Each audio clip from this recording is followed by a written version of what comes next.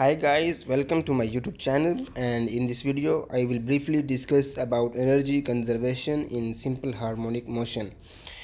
First of all, we will consider that a spring of having mass m is suspended by a fixed point. So when force is applied on that mass, it will move to and fro motion. So this to and fro motion is known as simple harmonic motion or periodic motion or oscillatory motion. So when the force is applied it will uh, its position at the maximum point is known as x naught and its position at the mean point is known as o. So this x naught is the extreme position and this o is known as mean position or central point. So uh, when force is applied body um, body move into and fro motion uh, with respect to their extreme position and mean position. So when force is not applied or when displacement is zero then force will be zero. And in addition when displacement is x naught or extreme position then force will be kx naught according to Hooke's law. In in this case we are dealing with when displacement uh, is equal to x naught or maximum point so the force will be kx naught according to Hooke's law in addition we will also discuss with you about the uh, power or work done by this force. So when work done by this force is considered when displacement is zero then there will be no work done. But when work done on the body when there is a displacement of x naught then what will be the work done? So the total work done will be the uh, the product of force multiplied by displacement. So product of force according to Hooke's law is kx naught and displacement is distance covered by the body to the extreme position which is x naught. So it will be kx naught square. So in addition the total work done will be in the form of uh, sum of the work done original work done and final work done. So in the form of work done the total work done will be uh, average of on initial plus final divided by 2 so uh, which will be 0 plus kx naught square over 2 I will rewrite it uh, in order to clear you. 0 plus kx naught whole square over 2 so it will be when it is added it will it will be 1 by 2 kx naught or half kx naught square. This is a total work done on a body. So in addition so this 1 by 2 kx naught is not is also known as potential energy.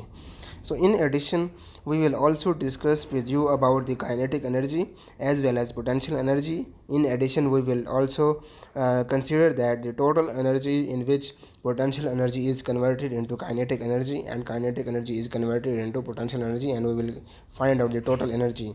So the at any instant t we will consider that body has position of x so it is not an x naught at any instant t the body is at x position.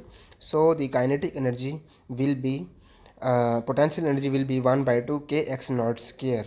So it will be uh, 1 by 2 kx square instead of kx naught square because we are dealing with the body at position x.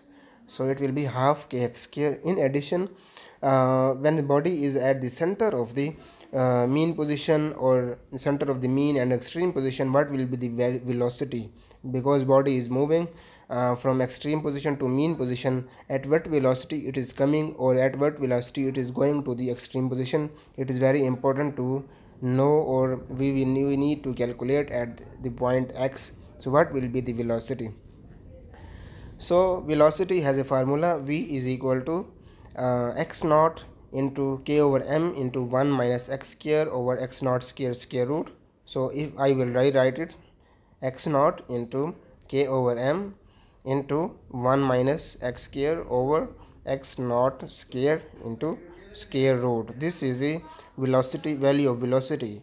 So uh, according to formula of kinetic energy kinetic energy is equal to half mv square. So I will consider the formula of kinetic energy and I will put the value of this velocity in this formula. So it will be half mv square. So we need to calculate the velocity of v square not only v. So we will take square on both side of in case of velocity. So kinetic energy is equal to 1 by 2 m into value of v is x naught into k over m square root into 1 minus x square over x naught square. So the uh, it is value of v is uh, only this value and it is a square value. So this square value when when we open this value the final value of kinetic energy will be uh, 1 by 2 x naught whole square due to square of that value and square root will be cancelled out by this term. So the kinetic energy is equal to 1 by 2 m into x naught square uh, into k over m into 1 minus x square over x naught square square root. So this square root is cancelled out by this square. So the final term will be uh, 1 by 2 m x square over k into k over m 1 minus x square over x naught square so you in this case you can see that m can be cancelled out in this term. So this is a uh, value at any point which is known as x. So at any point when value is x the kinetic energy is maximum. When kinetic energy is maximum the value of x is 0 because the kinetic energy is maximum when the body is at mean position it is not an extreme position. At extreme position the value of kinetic energy is 0 because velocity at that point is 0 and the at mean position value of potential energy is 0 but value of kinetic energy is maximum. So we are dealing with kinetic energy. So value of x is 0 and mean position. So if we will put the value x is equal to 0 in this expression of kinetic energy. So kinetic energy is equal to 1 by 2 m x naught square into k over m into 1 minus 0 because value of x is 0 so all the whole term will be 0 it will be 1 minus 0 so the final term will be 1 1 by 2 m can be cancelled out. The final term 1 by 2 k x naught square. This is the value of kinetic energy. So you see value of potential energy at extreme point is equal to 1 by 2 k x naught square and value of uh, kinetic energy at mean position is equal to 1 by 2 k x naught square. But we need to calculate the total energy at that point. At any point we need to calculate and we will observe that uh, how kinetic energy is converted into potential energy and how potential energy is converted into kinetic energy. And we will also observe that how total energy can be conserved in this case so the total energy is equal to sum of potential energy plus kinetic energy. So we know the formula of potential energy at any point x because we are dealing with the value of uh, potential energy at any instant of time. So the total energy will be uh, sum of potential energy plus kinetic energy. And uh, total energy is equal to the potential energy is equal to 1 by 2 k x square because we are dealing with value of x at any point uh, plus uh, kinetic energy is equal to 1 by 2 k over m k x naught square into k over m or 1 by 2 k x naught square k over m into 1 minus x square over x naught square into square root square root was cancelled out in the previous term in addition we will also deal with uh, we will simplify it in the form of this term and if we will write it of the kinetic energy 1 by 2 1 minus x square over x naught square square root. Square root was cancelled out. So if we open this term it will be the total energy can be find out by this expression. It is 1 by 2 k x square plus 1 by 2 and this whole term will be multiplied by 1 because in the bracket first term is 1 1 by 2 k x naught square minus and this whole term 1 by 2 k x naught square will be multiplied by x square over x naught square. It will be 1 by 2 k x naught square my into x square over x naught square. So in this case you see k uh, x naught square can be cancelled out by this x naught square. So it will be cancelled out. The final term in the total energy will be 1 by 2 kx naught square plus 1 by 2 kx square. These two terms in addition the final term of last term is equal to minus 1 by 2 kx square. So from this expression you see that plus first term of the total energy is 1 by 2 kx square and third term is minus 1 by 2 kx square. These two terms can be cancelled out from each other. The final term of the total energy will be uh, 1 by 2 kx naught square. And you observe that the uh, we have calculated the total uh, total energy is equal to 1 by 2 kx naught square. Potential energy was 1 by 2 kx naught square and kinetic energy was also 1 by 2 kx naught square.